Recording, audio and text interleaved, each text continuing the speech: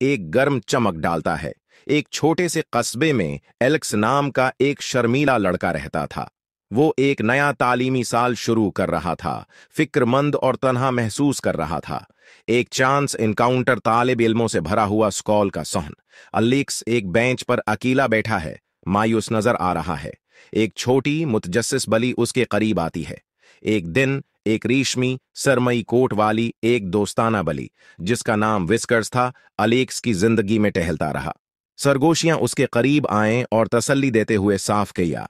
आराम की तलाश तस्वीर, इलकस और सरगोशियाँ एक दरख्त के नीचे एक साथ बैठे, एक पर सुकून लम्हा बांट रहे हैं। बली अपना सर एलिक्स की गोद में टुका देती है। जैसे जैसे दिन गुजरते गए एलकस और विस्करज लाजिम ओ मलजूम हो गए।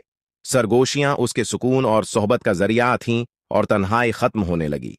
एक गैर मुतवक़ा रकावट एलकस और सरगोशियाँ एक साथ चल रहे हैं। उनके साय डूबते सूरज की वजह से लंबे हो रहे हैं। एलकस के हाथ में स्कॉल के प्रिंसिपल का नोटिस। ताहम। एक दिन स्कॉल के प्रिंसिपल ने ऐलान किया कि स्कॉल के इहाते में पालतू जानवरों की इजाज़त नहीं है। एलक्स दिल शकस्ता और तबाह हो गया था। एक मुश्किल इंतखाब तस्वीर एलेक्स स्कॉल के दरवाजे के बाहर मज्जाड खड़ा है। सरगोशियों ने उसे अदास, समझदार नज़रों से देखा। अलेक्स को एक दिल दहला देने वाले फैसले का सामना करना पड़ा। वो या तो कवाद पर अमल कर सकता है या अपने प्यारे दोस्त वस्क्रज को रख सकता है। उसने सरगोशियों को जाने देने का फैसला किया।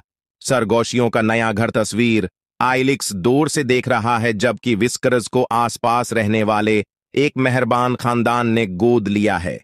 सरगोशियाँ एक तसली बख्श शक्ल देती हैं।